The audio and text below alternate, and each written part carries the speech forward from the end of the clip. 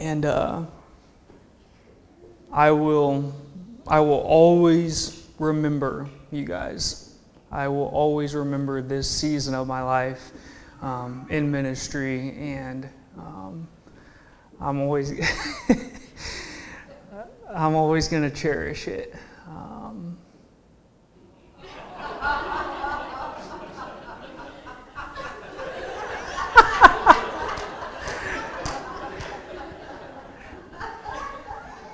um, Emma and I, we, we say all honestly all the time, we say over and over again how much we just wish we could like pack you all up with us and take you wherever we go.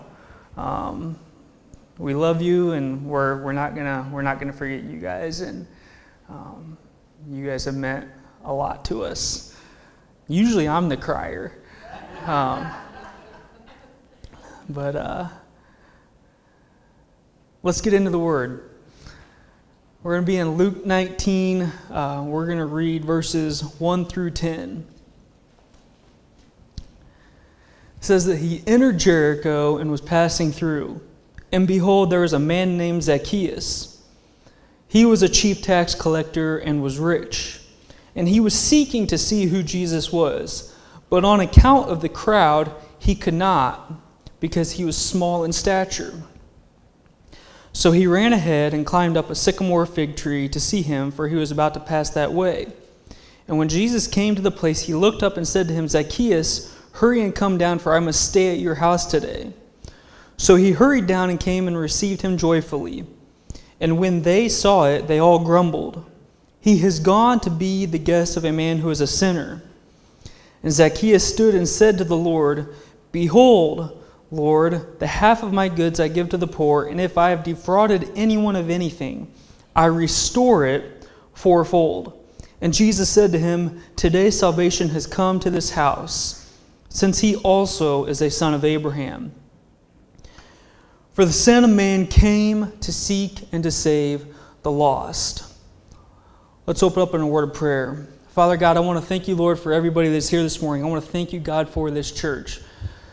Thank you, Lord, for your word. And we pray, God, that you just speak to us this morning, that you would encourage us, that you would build us up, and that you would uh, make us more like you. Let us hear from you today, Father. In Jesus' name, amen. This last week, uh, about a week ago, not this last Thursday, but the Thursday before, two Thursdays ago, uh, me and my dad, uh, we went on a little vacation together uh, to Jackson Hole, Wyoming. If you ever get the chance to do that, do it. I don't say that about everywhere I go. If you ever get a chance to go hike the Appalachian Trail on the West Coast, pass on that. That's not fun. It's just dis- disease infested. If you ever get a ch- chance to go to Jackson Hole, Wyoming, you need to do that. I mean, it's like probably like 65 or 70 there, no humidity. It's beautiful, tons of fun things to do. But uh, so me and my dad went we went out there on Thursday, and then on Sunday, uh, Emma, my mom, and my sister, and my nephew came out and joined us, and then we stayed a few more days until Thursday. And so me and my dad were there for for about a week total, and. Uh, before they had gotten out there, um, one day I, I, was having a conversation with this with this lady, and um, you know I was asking her about you know who you know where she's from, what she does, why she you know chose that line of profession, et cetera, et cetera. And, finally, in the conversation, you know she she started to inquire about me, and she says, uh, "So what do you do?" And I said, uh, "Well, you know I'm I'm a pastor," and she says, "Really?" These conversations, you know, I've had a few of them now. They can go multiple ways. You know, sometimes it's a good opportunity where I get to share my faith and talk about Jesus. Sometimes, you know, they're kind of just turned off and the conversation just ends. Sometimes, honestly, it can get a little awkward. Um, but she says, Really? Well, yeah. And uh, she says, Huh? she says, You don't really hear that very often. And I thought, eh, Yeah, I guess not. I mean, I didn't know really what to say. Um, and she says, uh, why, did you, why did you want to be a pastor? She says, uh, Were you like some kind of choir boy? At that moment, I started to wonder if she actually knew what a pastor was. choir boy? I don't know what that is. I don't know what that means. It was an awkward conversation. Um, she clearly wasn't a Christian, but that's okay. But I thought she asked a good question. She asked me, Why are you a pastor?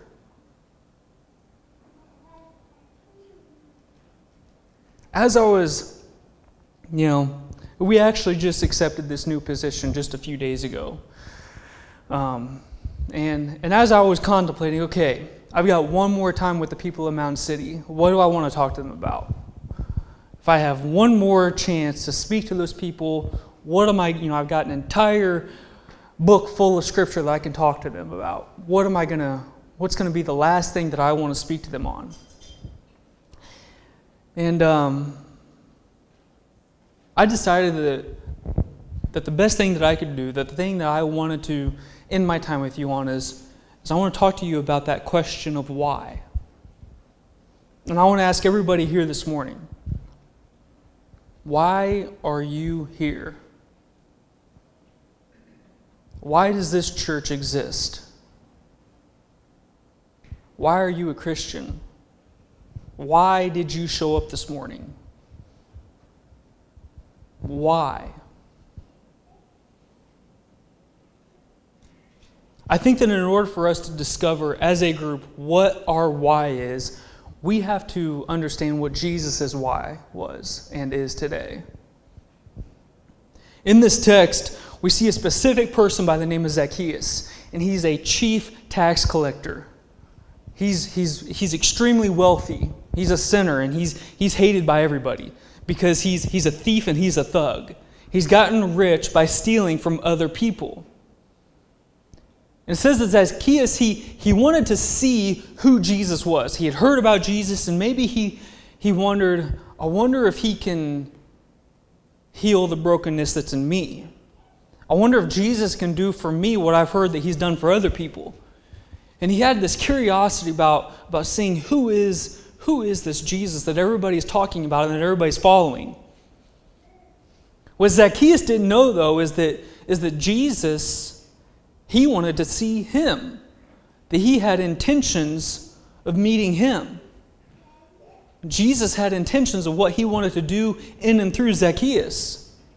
So Jesus comes to the tree and he looks up and he says, Zacchaeus, come down, for I must, I must stay at your house. I must come have dinner with you. It wasn't a, yeah, I might, what do you think? No, he said, I must. It was important. It was critical to Jesus that he encountered Zacchaeus. Why? Because Zacchaeus was lost. I think that it's important that we, we note and we realize that Jesus placed importance on individuals with names and with stories. See, a lot of times, I think that in, in churches all around, you know, we, we think, well, you know, we're reaching this many people and that's good. You know, we, we, we want to reach people, and there's there's some churches and uh, you know cities that, that reach more than others. And let's just talk about Kansas City, for example. You know, in Kansas City, there's no doubt you know a few churches in that city that are probably what are considered mega churches, which is 2,000 people or more, and they're reaching a lot of people. But the truth is, is there's still hundreds of thousands of people in Kansas City that don't know Jesus. And God, Jesus, is not satisfied with winning back 25% of his kids, or 50%, or 75%.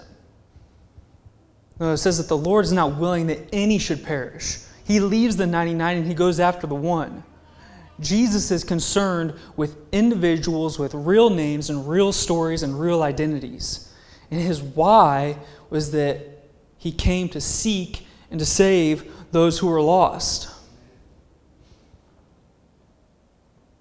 Right from the beginning in the book of Genesis, we read of this descendant, you know, this, this the seed that would, that would come and that would redeem and reconcile and restore mankind to God. This was the purpose that God had from the very beginning. That the great work of God would come through Jesus Christ and he would, re- he would reconcile, he would restore the effects of sin that came through Adam. And I think that a, a big part of the reason why churches fail, why many pastors aren't spending time in prayer, why many churches aren't generous in their giving, is because they've either forgotten their why or they've never noted in the first place.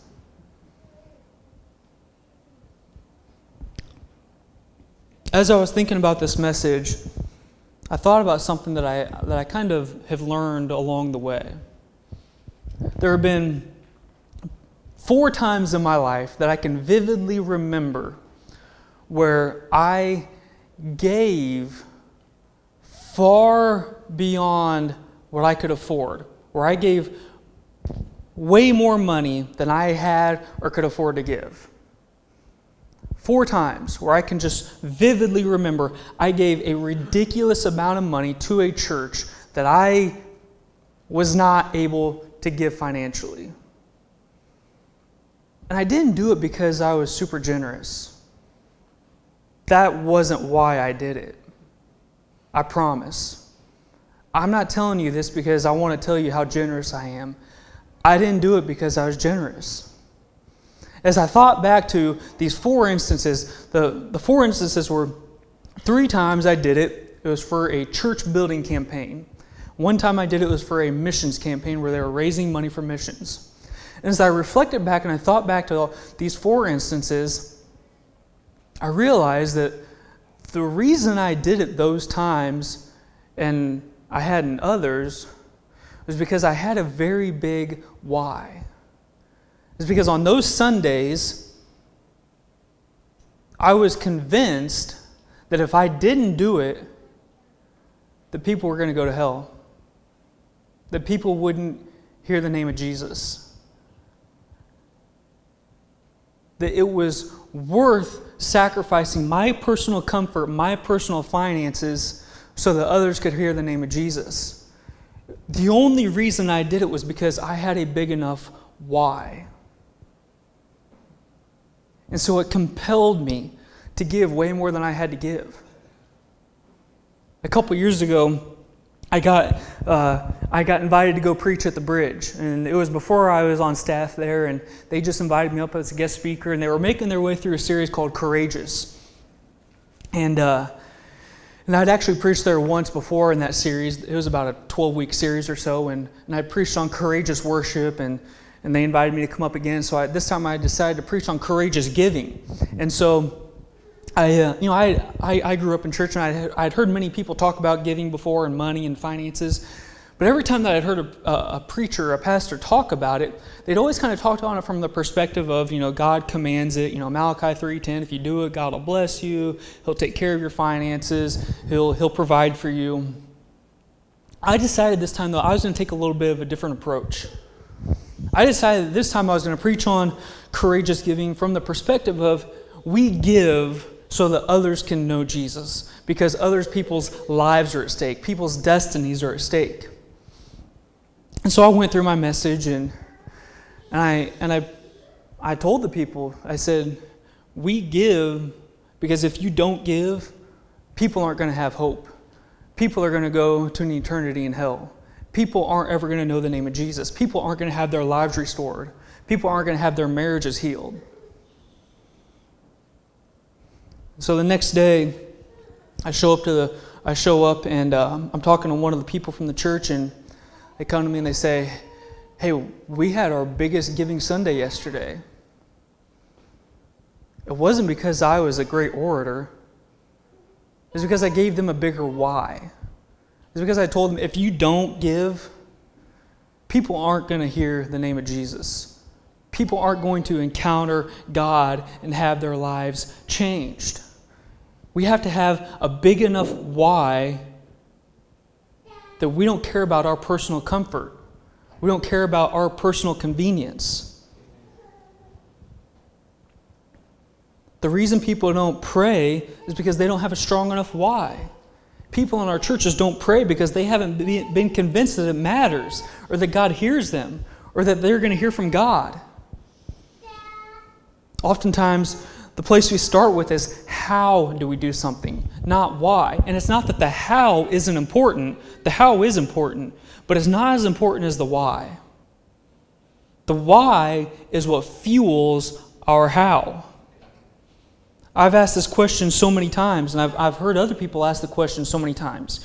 You know, um, how do you prepare a great sermon? I've Googled that. How do you. Uh, how do you become a good speaker? How do you build a church? How do you recruit volunteers? How do you get your church to give more? You know, how, how, how? And sometimes our why can be very small. You know, sometimes we'll say, you know, how do you do this because, um, you know, I want to be a good orator, or we want to have a church that's bigger than the guy down the street, or we're tired of doing everything ourselves, so we need to recruit more volunteers or we're just trying to keep the lights on and pay the salaries. And these are all very small whys. We need a why that's going to fuel our how. Whenever you don't know how to do something, give a big enough why, and you will instantly become more innovative. You put enough pressure on somebody, and they're going to figure out how to do it. But we've got to remember what our why is as a church. Or sometimes, you know, we have a why, but it's so small that it doesn't get us out of bed. It doesn't get us on our knees. It doesn't inspire. It doesn't motivate. If your why is too small or too shallow, it's not going to fuel your how. Now, think about this. How did Jesus go through what he went through? How did he accomplish what he did? How did he climb upon that cross and not take himself down until it was finished? Because he had a big enough why. He knew why he was doing it. But do we? Why do some churches succeed, some organizations see, succeed, some businesses succeed, and some don't? It's because I think they either have a big enough why or they don't. You know, have you ever found yourself asking the question, why am I doing this? I have. There have been plenty of times in my life where I'm like, why am I doing this? And it's usually whenever you start to ask yourself, why am I doing this, to where you're going to stop doing it with excellence or you're going to stop doing it altogether. Jesus said in verse 10, He came to seek and to save the lost. On February 11th, 1990, some of you will probably remember this, others you probably won't know what I'm talking about. But Buster Douglas fought Mike Tyson.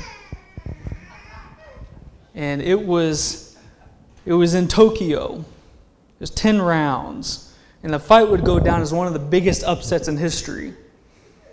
The undefeated, undisputed Mike Tyson was about to fight Buster Douglas, who was an underdog with four losses and a draw to his name at the time. Buster Douglas got knocked out by Mike Tyson. He, he goes down on the canvas and, and they're like, it's over.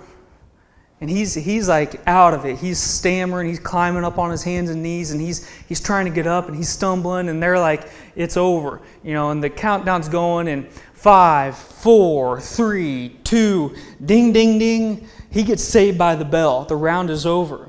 And so Buster Douglas climbs up in his corner and Everybody's like, they know what's going to happen. The next round's going to come, and they're like, Tyson's going to come out and he's just going to hammer on him because he's, he's, he's there.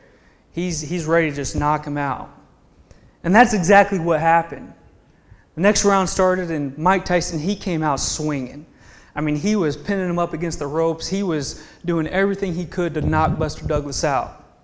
But something happened that nobody expected to happen. Buster Douglas started fighting back. He started fighting back. And then the unthinkable happened. Buster Douglas knocked Mike Tyson out. He knocked him down and he didn't get up. It was, the, it was this massive upset. Nobody could believe it. So all the reporters, you know, they go to Buster Douglas after the after the after the match and they're like, "What happened?" Buster Douglas said, "It's actually really simple." He said, uh, "Before my mom died, she told the world that I was going to beat Mike Tyson." Buster Douglas's mom died two days before the fight. And so he said, whenever I was laying on the canvas, I had this thought. And I decided I can either stay down and I can die with my mom, or I can get up and I can live for her. He said, I can either make my mom a liar, or I can make her a prophet. So he said, I got up and I fought. See, Buster Douglas, he had a why that was bigger than Mike Tyson's punch. If our churches don't have a big enough why, we're going to lose the battle because we've got our own personal enemy that's trying to knock us out. The devil is trying to kill every single church that he can. He's trying to take out pastors. He's trying to take out congregations. He's trying just to knock churches out. And if you and I, if we don't have a big enough why, we're going to lose the battle every day.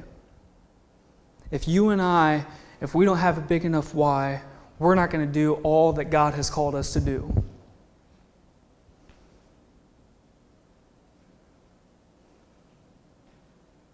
I didn't pick this message because I thought that this specific church needed it. I picked this message because I didn't really think that there was a more important message that I could talk to any church about. I think that this church has amazing people. I think you guys are doing amazing work. But I also think that there are there is untapped potential here. I think that there are greater things that God wants to do through the people in this church. I think that God has bigger plans for you, that He has something more in store for you, that He wants to use you in bigger ways than you guys have ever seen yet. But if you and I, if we don't show up,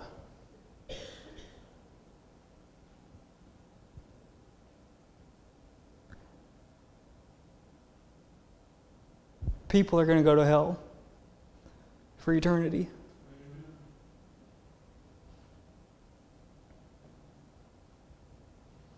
People aren't going to have a hope. Families aren't going to be healed. Relationships aren't going to be healed. Lives aren't going to be restored. If you and I don't show up, if the church doesn't show up, people are never going to know the one thing that can save them and restore them and heal them. We have the biggest why in the world. You and I just have to remember it. Paint it on your wall. Write it on your heart. Write it on a note card and put it on your mirror. If you and I aren't strong and courageous, if we don't show up, people aren't going to experience their destinies and they're never going to know the name of Jesus. We just have to remember why. Why we're here, why we exist. I love you guys. I love this church. I love the individuals in this church. God has great things that He wants to do through you, big things. Let's pray. Father, I want to thank you, God, that you came and you sought me out. That you saved me from my brokenness and from my sin. And you gave me hope. You gave me life. You gave me a purpose and a calling. And you gave me a relationship with you. I want to thank you, God, for that same work that you've done through everybody that's in here today. God, I, I thank you, Lord, so much for your word and for your son. And that you have given us a great commission, that you have handed over your why to us, that you have entrusted us, that you have given us the responsibility of carrying that torch. Father, I want to thank you, Lord, for this church, for every single one of them that's in here. I pray, Lord Jesus, that you would strengthen them, that you would encourage them, that you would build them up, and you would help all of us, myself included, myself most of all, to never forget what our why is, to never forget why we get on our knees and we seek your face, to never forget why we show up, to never forget what our purpose is and why we exist, why I'm here. I pray, God, that you would unite this church like never before, that you would strengthen them, Lord, and that you would just help them every single day, Lord, to remember their why, why they exist as a community of believers, and that you would strengthen them and that you would help them to figure out the how. That you would give them wisdom and knowledge and strength for the battle. That you would help them to be strong and courageous. Send them the right man to be their pastor. Go before them every single day, Lord. In Jesus' name, amen.